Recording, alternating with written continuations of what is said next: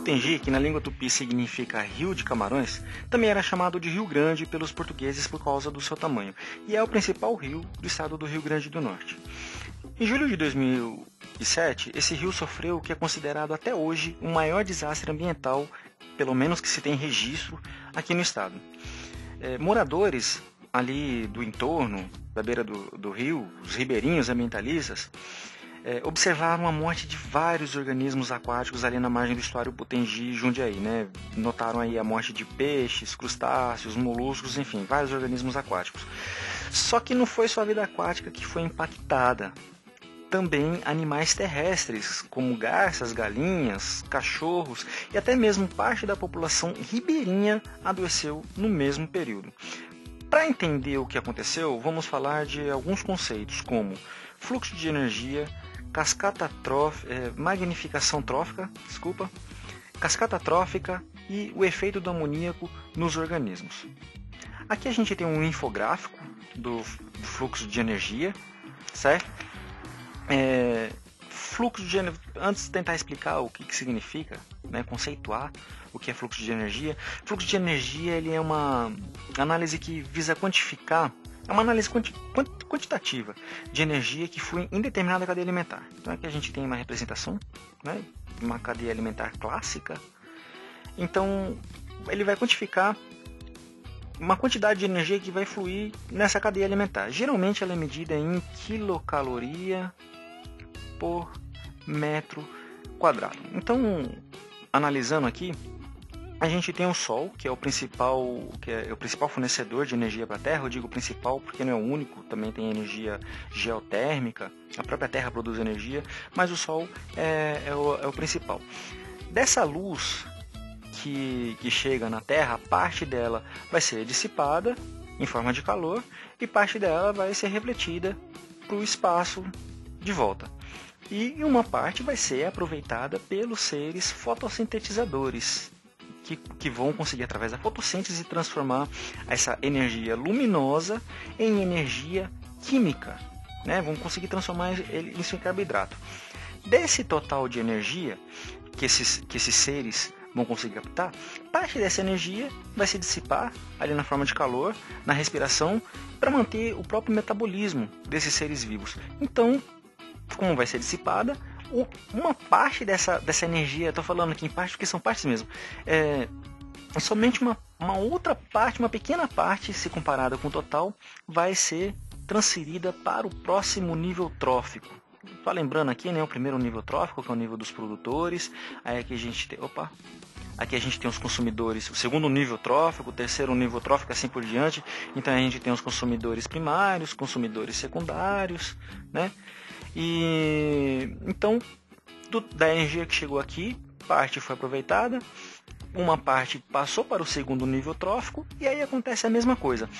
É, parte dessa energia aqui vai ser dissipada na forma de calor, na respiração, e outra parte vai ser utilizada para ele mesmo, para o metabolismo dele, para ele poder é, procurar alimento, para ele poder fugir de presas. Né? É, essa energia não pode ser aproveitada por exemplo, a energia que ele usa para fugir da presa não vai ser aproveitada no próximo nível trófico, certo? Isso é só um esboço, certo? Do que é, do que é fluxo de energia.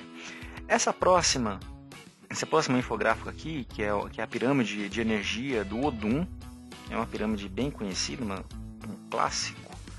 Como eu disse aí, é medido em quilocaloria é, por metro por ano analisando aqui, a gente tem os produtores primários. Tá sem acento aqui porque é em espanhol. Espanhol. Então aqui a gente tem os produtores primários, produtores secundários e a energia fluindo para. Deixa eu tentar colocar aqui. Opa! Epa, voltar. Fluindo aqui entre os níveis tróficos.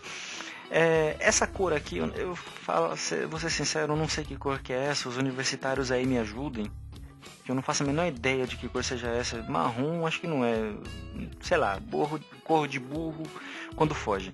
Então, aqui, nessa cor aqui, de burro quando foge, representa a produção líquida, certo? Desse primeiro nível trófico, os produtores primários, aqui a produção líquida dos consumidores primários e assim por diante. Esse azulzinho aqui representa a taxa de respiração.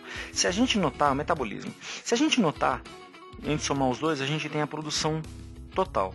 E olha, nota que não é toda energia que é produzida em um nível trófico que vai passar para outra. Porque uma parte aqui não vai ser comida. Olha só, se a gente for analisar, tenta desenhar reta aqui. Essa parte aqui não foi alimento. Essa partezinha aqui. Opa, desculpa, é aqui.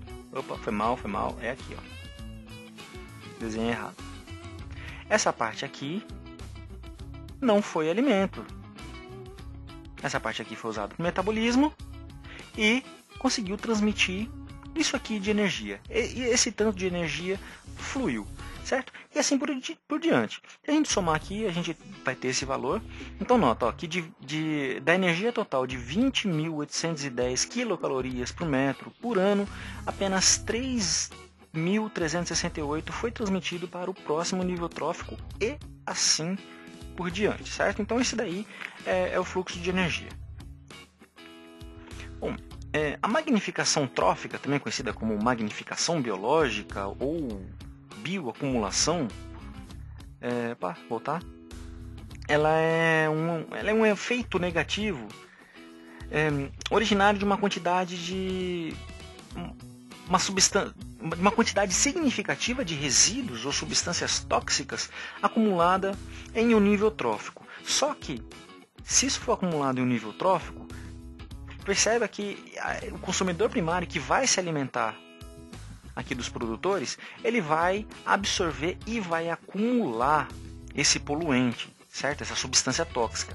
E assim por diante. O consumidor secundário, que, se vai, que vai se alimentar do consumidor primário, vai acumular novamente. Por isso é chamado de bioacumulação. Eu estou chamando aqui de magnificação trófica. Bom, indo para cascata trófica, certo? Esse é um conceito muito legal. Eu não achei nenhum infográfico que pudesse representar, é, então vou usar aqui um, um desenho de um desenho aqui de uma cadeia alimentar clássica mesmo. Então, o que, o que, que acontece? É, primeiro, o que, o, que, que, é casca, o que, que é uma cascata trófica? O conceito. Ela pode ser definida como um efeito indireto que um nível trófico, aqui tem o primeiro nível trófico, né? segundo e terceiro,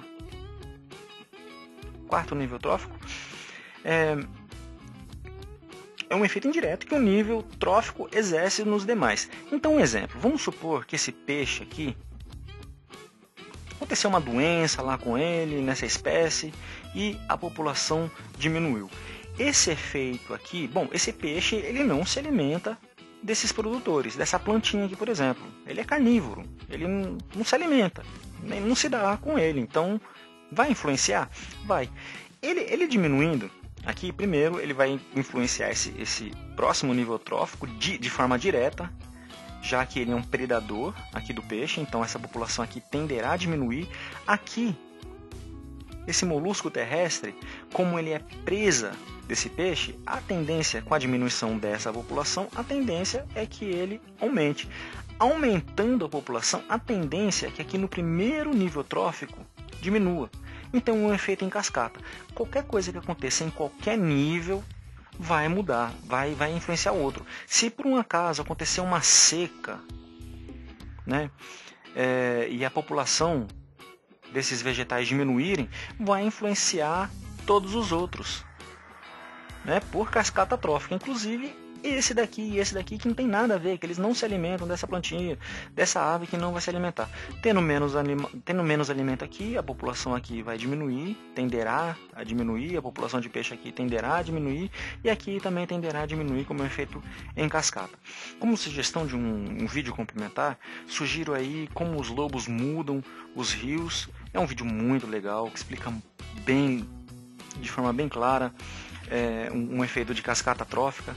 É, tem um link aí do, do vídeo na descrição, mas de forma bem resumida é o seguinte: é lá no Parque Yellowstone, é, que tinha lobos antigamente, mas durante um bom período ficou sem lobos, e eles reintroduziram é, os lobos, e ao reintroduzir os lobos, eles começaram a controlar a população de alces, e os alces, né, eles comem gramíneas, diversas herbáceas, controlando, controlando essa população, é, os alces começaram a comer menos gramíneas, então essas gramíneas puderam se desenvolver e isso atraiu abelhas, atraiu pássaros, e esses pássaros começaram a reflorestar, começaram, as abelhas começaram, os insetos começaram a polinizar, e isso mudou de tal forma é, o ecossistema, é, é, mudou também os fatores abióticos que que mudou inclusive o curso dos rios. Daí o nome, porque como os lobos mudam os rios. Então vale a pena dar uma olhada nesse vídeo.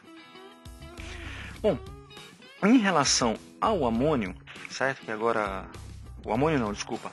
A, amônia ou amoníaco, certo? Que tem a fórmula NH3,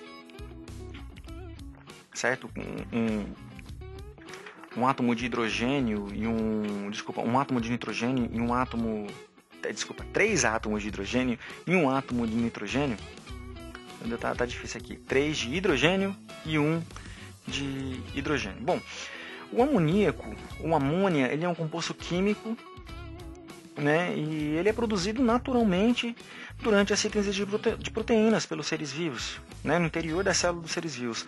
A amônia, ela pode em grandes quantidades, ela pode alterar propriedades físico-químicas da água, como o pH, a turbidez, a temperatura, a capacidade da água é, dissolver oxigênio, entre outras alterações. Em concentrações muito altas, elas podem causar vários efeitos deletérios.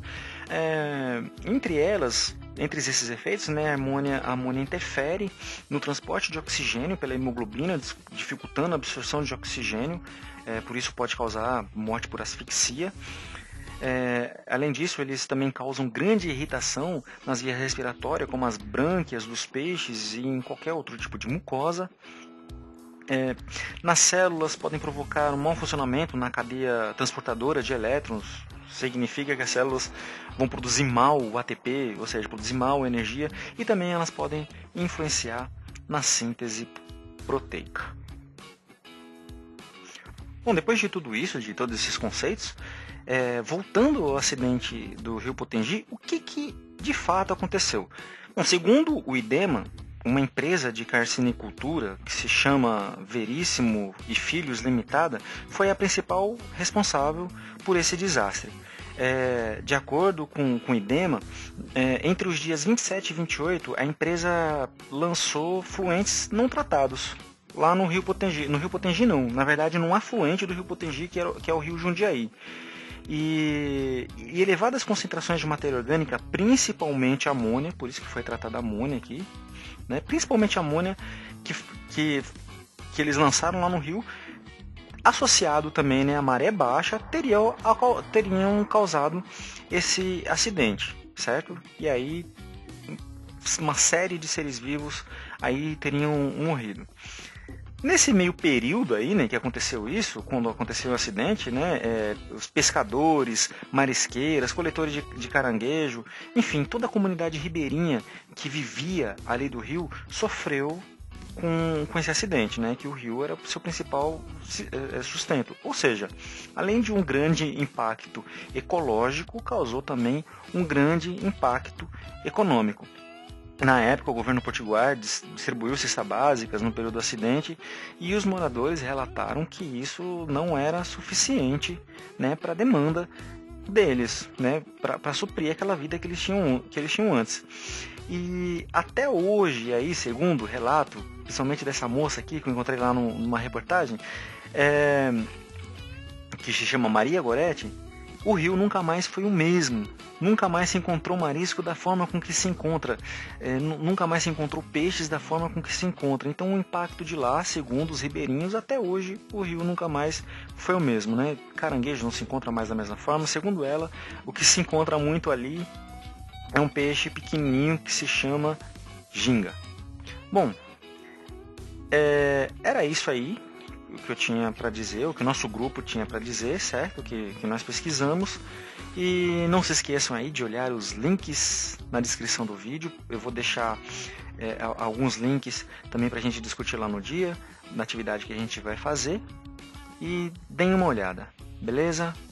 Então é isso aí, valeu, até mais.